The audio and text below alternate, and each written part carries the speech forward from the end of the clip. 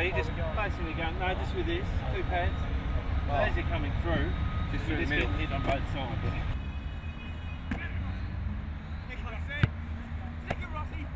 Been champing at the bit to get out here and do it for a couple of weeks and uh, we made sure they ticked a few boxes and now they're ready and they're really enjoying it. We wanted to get their strength levels right first but uh, then we wanted to make it a lot more game specific and so we do this for a little while before we you know, get them into full tackle drills which will happen next week.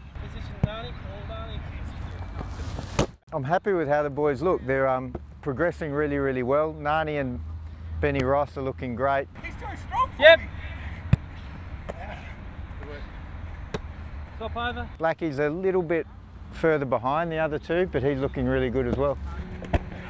We're trying to probably simulate game contact and game loads, but in a really controlled environment. This way we can control the direction of the blow, how hard it is, and there's a bit of padding involved.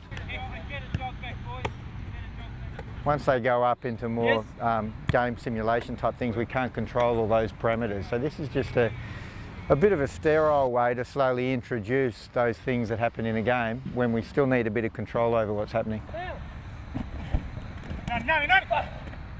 From here on next week, they'll start to go into game simulation drills where we can't control the contact and they've just got to deal with normal tackling and bumping that's uh, not as easily anticipated and controlled. It looks fantastic. They've done really well. I mean, Benny and Nani have tracked really well over the last few weeks. Good, Benny. Good work.